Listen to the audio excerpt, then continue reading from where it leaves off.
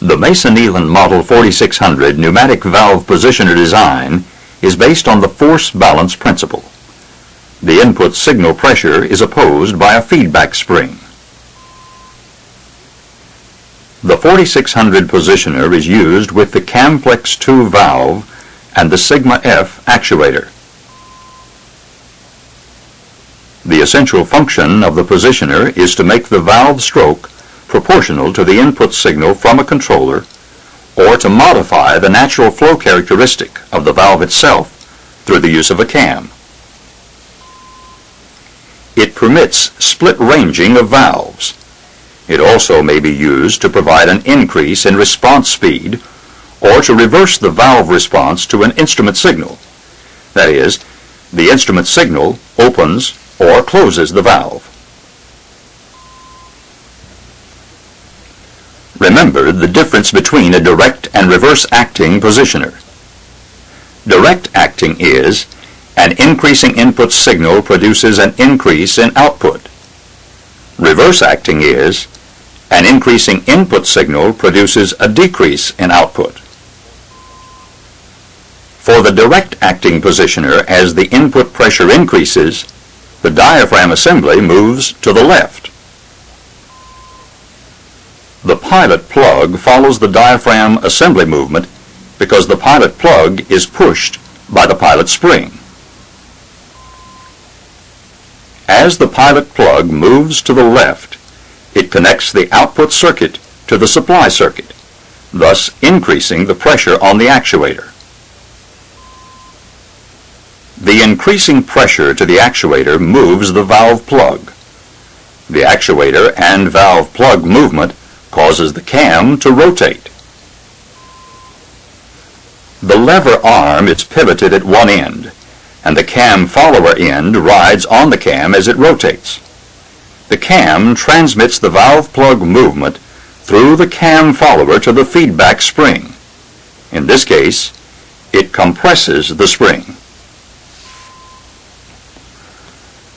The valve plug continues to move until the feedback spring force balances the force of the instrument signal on the diaphragm. In the new balanced state, the valve plug is positioned in a programmed relationship to the instrument signal. The relationship is governed by the cam. The cam is the intermediate element in the feedback mechanism between the actuator and the feedback spring. Its profile determines the relationship between the valve plug position and the control signal. The cam provides linear, split range, or equal percentage control characteristics for the valve. The pilot is essentially a three-way sliding valve. The pilot plug regulates supply air flow to and from the actuator to the exhaust port. The position of the plug, governed by the diaphragm, determines the output pressure of the positioner. Like most valve positioners, the Model 4600 is equipped with a bypass.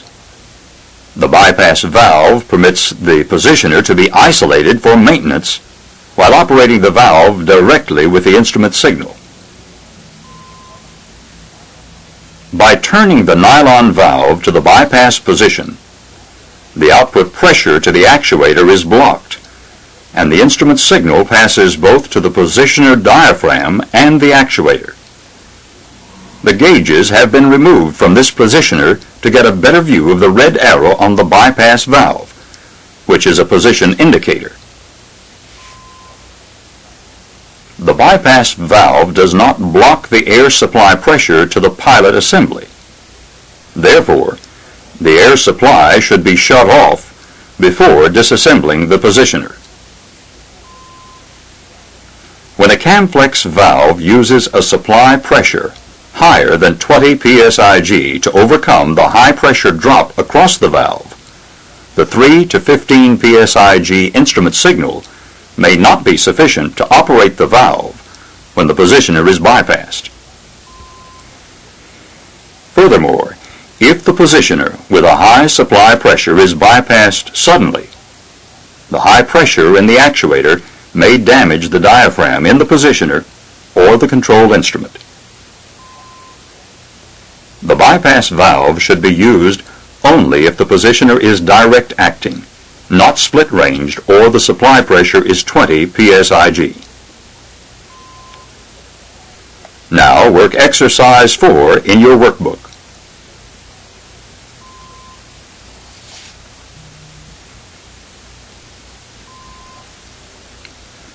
Mounting the 4600 positioner on a Camflex valve requires a mounting plate. The mounting plate is held by two flathead screws to the yoke. The positioner is mounted to the mounting plate by two screws with the gauges nearest the actuator. The cam takeoff hole must be centered about the shaft before tightening the mounting screws. The positioner is mounted to the cover of the Sigma F by two screws with the gauges nearest the actuator indicating scale. The cam coupling is positioned on the shaft with the key engaged in the shaft slot and the set screws to the top and side. The coupling hold-down screw with the lock washer fastens the cam coupling to the shaft in the valve.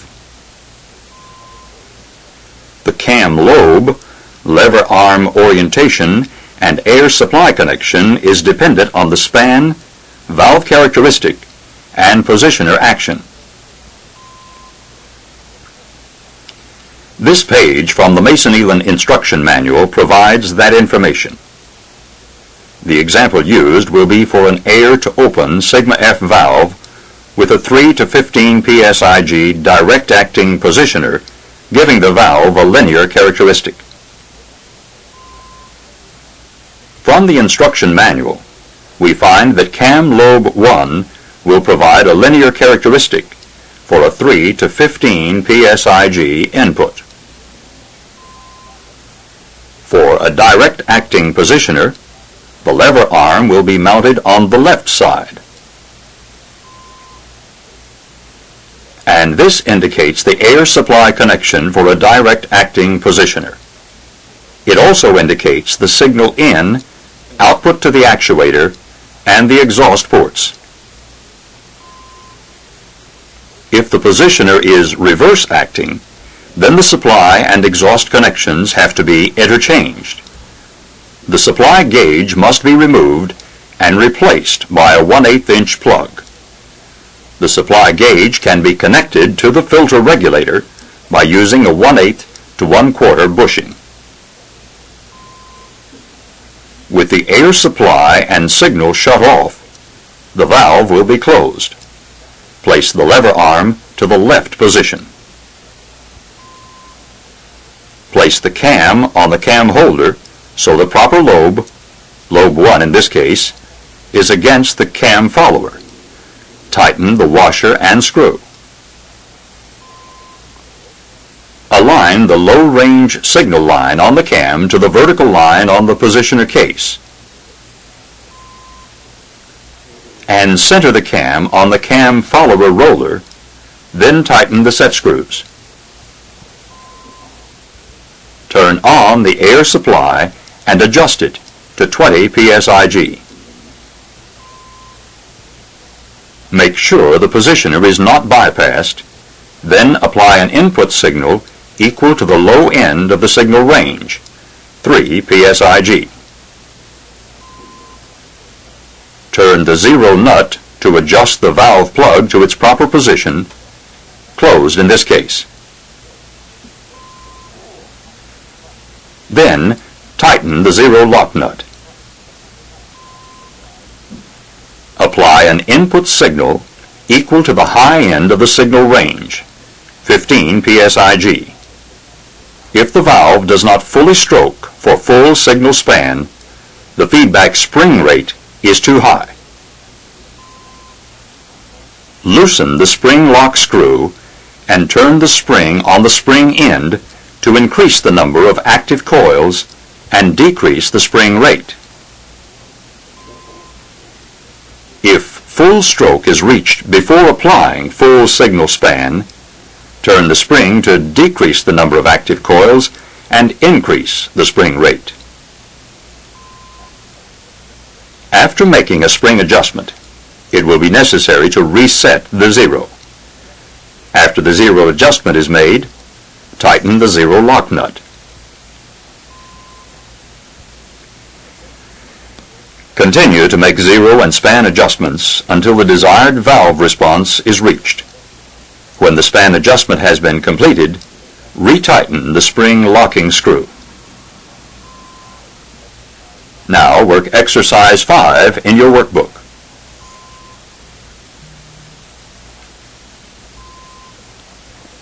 The next example of calibrating the 4600 positioner will be on an air-to-close Camflex 2 valve. The positioner will be split-ranged, reverse-acting, and will give the valve a linear characteristic with 3 to 9 psig input. According to the instruction manual, the lever arm will be mounted on the right side and cam lobe 10 will be used. the supply and exhaust have to be interchanged. Because the supply and exhaust have been interchanged, the supply gauge does not measure the supply pressure and must be removed and plugged to keep from confusing others. Place the lever arm on the right and tighten the screw which holds it in place. Turn on the air supply and adjust it to the proper pressure, generally 20 to 25 psig. Make sure the positioner is not bypassed. With the input signal at 0 psig, manually depress the feedback spring to close the valve. While keeping the valve closed by depressing the feedback spring, place the cam on the cam holder so the proper cam lobe, lobe 10, is against the cam follower. Replace the washer and screw on the cam and release the feedback spring. If the valve does not remain closed when the feedback spring is released, adjust the zero nut to seat the valve. With the valve seated, align the low signal line of lobe 10 to the vertical line on the positioner case and tighten the set screws. Apply an input signal equal to the low end of the input signal range, 3 psig. Turn the zero nut to adjust the valve plug to the closed position. The positioner output to actuator should be approximately 15 psig. Tighten the zero lock nut. Apply an input signal equal to the high end of the signal input range, 9 psig. Make the span adjustment until the valve is in the open position. The positioner output to the actuator should be approximately 3 psig. Continue to make zero and span adjustments until the desired valve response is reached. When the span adjustment has been completed, retighten the spring locking screw. The same 4600 positioner operates on both the Camflex 2 and Sigma F actuators. The only difference being there are two different cams, one for the Camflex and one for the Sigma F. Make sure you have the right cam. The part number is stamped on each. Each cam has two sides. One side has lobes 1 through 6, and the other side has lobes 7 through 12. The instruction manual gives examples showing the low-range line of the lobes. This is the line on the cam that is aligned to the line on the positioner case for mounting the cam. The instruction manual for the 4600 positioner will be included in the student workbook. When troubleshooting this positioner, you are reminded to look for the obvious. Make sure you have the proper air supply and instrument signal. The valve must be properly mounted in the line so the flow through it is in the right direction. The positioner must be properly mounted using the correct cam lobe and the correct air connections. The bypass must be in the proper position. If the positioner is found to be the problem, check the zero adjustment and adjust the zero nut if necessary. Lock with the lock nut. Check the span adjustment and adjust it if necessary. Remember that zero and span are interacting. When one is adjusted, the other needs to be checked. Adjust the input signal from minimum to maximum and observe the input gauge. If the input gauge does not respond to the signal, a diaphragm may be broken. To replace a defective diaphragm, remove all the air pressure from the positioner. Remove the gauges and unscrew the cap screws that hold the body to the case. Separate the body and case. Positioner insensitivity may be the result of a sticking pilot spool whose movement may be impeded by foreign matter such as dirt or metal particles. Partial blockage of air passages caused by too much oil in air lines or blockage of vent holes. To clean the pilot spool, unscrew it from the body. Unscrew the end plug and remove the pilot plug. Use a clean cloth to clean the pilot assembly parts.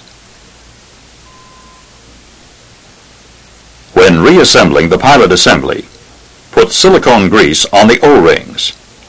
Install the pilot spring correctly. The end having the smallest diameter must be in contact with the pilot plug. Now work exercise 6 in your workbook.